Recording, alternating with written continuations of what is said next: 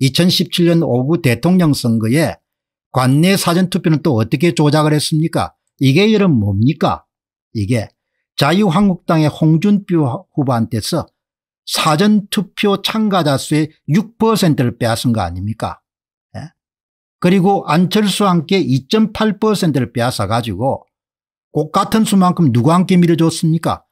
민주당의 문재인이 함께 이런 플러스 8% 정확하게는 7.7%를 밀어준 거 아닙니까 예? 이런 짓들을 해가지고 여러분 대통령이 되고 이렇게 된 거 아닙니까 이게 정상투표가 아니지 않습니까 정상투표는 예? 유권자들이 수천만 명이 참여하기 때문에 우리나라 같으면 4천만 명 정도 되지 않습니까 예? 그렇기 때문에 이 그래프가 어떻게 돼야 됩니까 0값에 있어야 될까 0에 예? 이거를 마이너스 6 마이너스 2.8 플러스 8로 이렇게 만들어준 거 아닙니까? 이런 짓들을 해가지고 예? 대통령이 됐으니 2017년에 재미 보고 그 다음에 확신했을 거 아닙니까? 유레카 드디어 우리는 발견했다.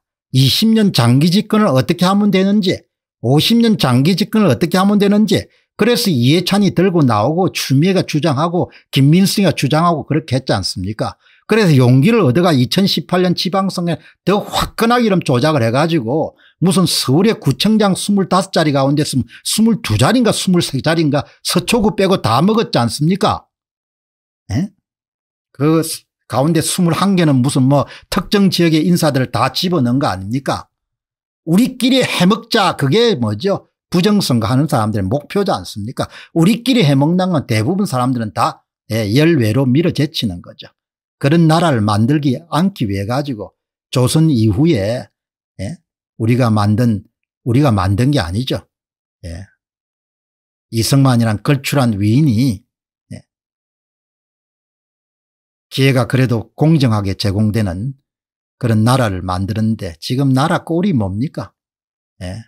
아이들 대학 입시부터 시작해 가지고 다 뭡니까 야미로 그냥 뭔가 해가지고 다 집어넣지 않습니까 이렇게 여러분들 조작을 해가지고 그래서 여러분들 완전히 선거를 예 그냥 선거 데이터를 만드니까 이게 완전히 작품입니다. 이게 예 이게 뭐죠? 예 대통령 선거 서울시 결과입니다. 이게 이게 이런 이게 말이 됩니까? 어? 이게 민주당은 모든 곳에서 다 사전투표 승리를 합니다. 플러스 OS 플러스 8%이 어마어마하게 큰 값이 어떻게 나옵니까 0에서 3 정도가 나와야 될 값이 자유한국당 홍준표는 마이너스 3에서 마이너스 6 예? 한국당 자유한국당과 국민의당 안철수와 함께 빼앗은 관내 사전투표수만큼 누가 함께 이런 밀어준 겁니까 문재인이 함께 밀어준 거지 않습니까 예.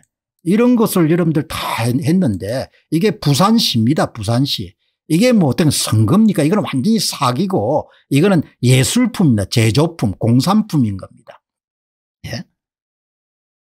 부산시에서는 어마어마하게 했네요. 문재인에게 플러스 7에서 플러스 11% 관내 사전투표 참가자 수의 7에서 11%의 표를 이동시킨 겁니다. 누구 함께서 빼앗아 가지고 자유한국당의 홍준표하고 국민의당의 안철수와 함께 빼앗아 가지고 예. 이렇게 어마어마하게 큰 차이값이 어떻게 나옵니까 이런 짓을 전국을 다해 한 거 아닙니까 이게 대구시입니다. 이게 뭡니까 이게 아름답다는 표현을 쓸 수 있는 거죠. 기계로 만들었으니까 컴퓨터를 가지고 컴퓨터를 가지고 후보별 관내 사전투표 득표수를 다 조작을 한 거 아닙니까 예? 이게 인천광역시입니다. 예? 어마어마한 거죠. 이 밑에 이름 차이값 보시기 바랍니다. 다 조작을 해가지고 한국당의 14%가 훔칩니다. 인천광역시의 웅진군에서는 14%가 이런 전산 조작을 한 거다. 강화군에서 10.3% 조작을 한 겁니다. 웅진군하고 이런 강화군은 아마 접견지이기 때문에 여당에 대한 그 자유한국당에 대한 선호도가 좀 센 지역입니다. 세게 이름 조작을 하지 않습니까? 여러분 이렇게 이렇게 여러분들 최대치가 9에서 14%라는 것은 어마어마하게 큰 수치인 거죠. 예. 대전시도 또 이렇게 이름 조작을 한 거 아니에요. 전국의 팔도 강산 전부를 다 조작을 한 거죠. 네? 이게 여러분들 2017년 문재인이라는 사람이 대통령이 되는 5구 대통령 선거입니다. 5년 동안 이 짓을 한 거예요. 네? 그래도 유, 윤석열이라는 사람 등장해가지고 뭡니까 한마디 말도 안 한 겁니다. 나라가 망한 겁니다. 나는 그렇게 생각하는 겁니다. 나라가 망해가지고 예? 양심도 마비가 되고 예? 이제 다 노예가 돼가지고 고생을 해야 아 그때 공박사 그렇게 왜 외쳤는지 저 양반이 왜 그렇게 외쳤는지 그런 거를 아는 사람이 좀 나올 수 있겠죠. 예.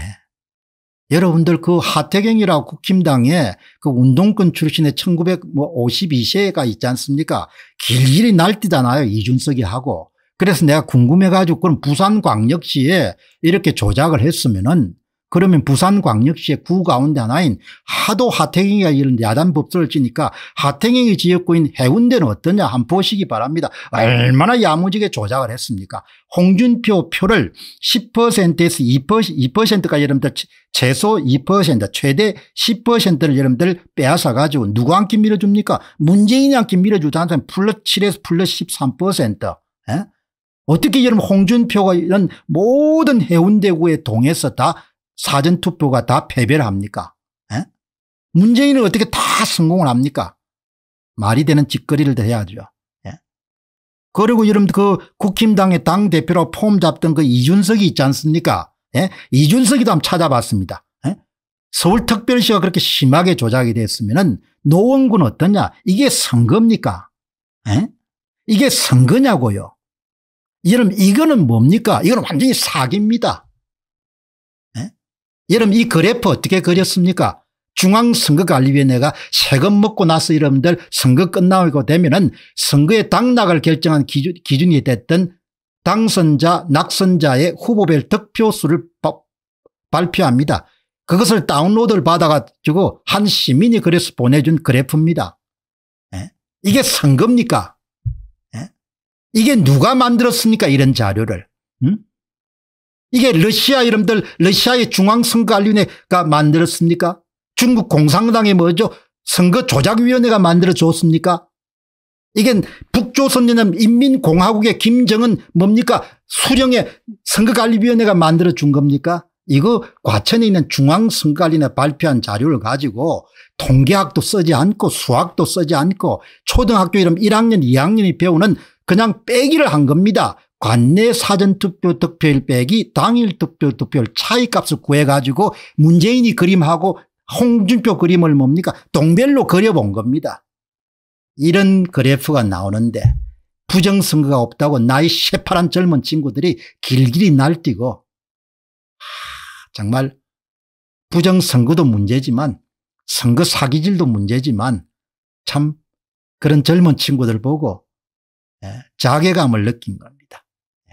예. 우리도 젊은 날을 지내왔지만 최소한 그렇게 살지는 않았거든요. 그렇게 살 수, 살아서 안 된다는 걸 우리가 배우고 자랐단 말이죠. 예? 내가 여러분 이렇게 열변을 왜 토하겠습니까? 예? 이거는 이래서 안 된다는 겁니다. 이렇게. 예. 꼭 망해야 망하는 걸 아냐 이야기죠. 망하기 전에 망할 수 있다는 것을 알면 안 되냐 이야기죠. 어쩌면 대한민국은 뭡니까 한국사 전편을 통해서 그렇게 뭔가를 준비하고 하는 것이 그렇게 더디냐 이야기죠. 여러분 이게 강원도입니다. 강원도는 왜 뽑았냐 예? 강원도는 그 지금은 물러났을 겁니다. 국힘당의 사무총장으로 있는 뭐 삼성 장군이 사성 장군이 육사를 나왔을 거 아닙니까 한기호 의원 예? 하도 뭡니까 선거 부정 없다고 날뛰고 이준석이 밑에서 그럼 조아리고 다니기 때문에 그래 그러면 네가 속하는 지역구에서 지역구에서 2017년 대선부터 무슨 이 짓이 있는지 한 봐라야. 예? 이게 무슨 선거냐 야. 예? 건북면이면 철원군이면 적경지역이기 때문에 방공의식이 강할 건데 여러분 도대체 자유한국당의 홍준표의 건봉면은 표를 얼마나 빼앗았습니까 25.5%나 빼앗은 겁니다. 예?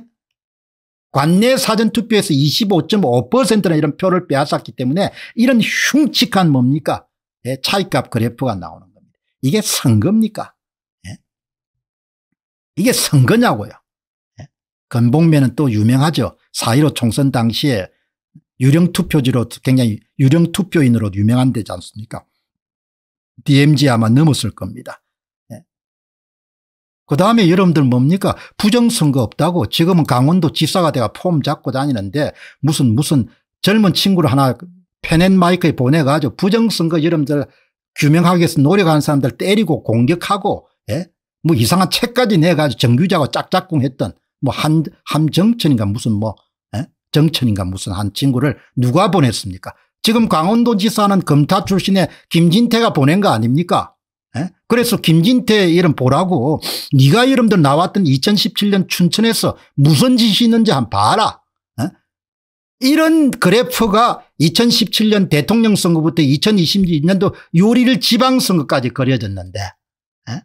그래 부정선거 없다고 뭐 정치를 해야 되니까 부정선거 없다고 그냥 입, 뭐 입을 다물 수는 있지만 그러나 이상한 젊은 친구를 보내가지고 그렇게 공격하게 하고 그렇게 하면 어떻게 되냐 야 인간들아 에?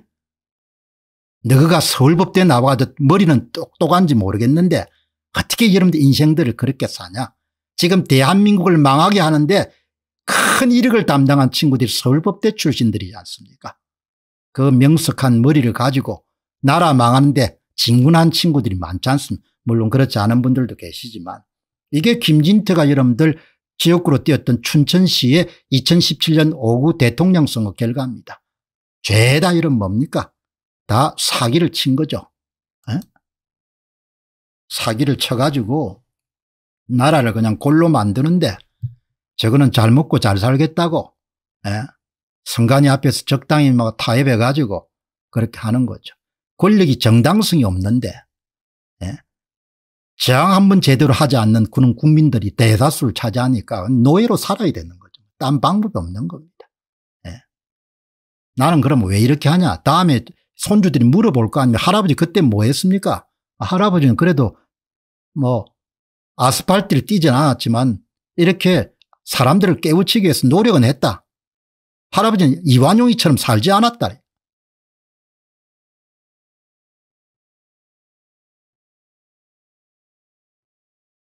할아버지는 이완용이처럼 산 건 아니다. 할아버지는 어려운 환경에서도 사실이 뭔가를 사람들에게 알리기 위해 가지고 노력했다는 거죠.